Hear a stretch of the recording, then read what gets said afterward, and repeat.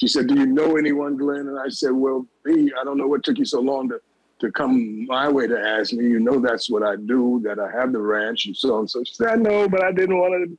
I said, B, come on, I got you.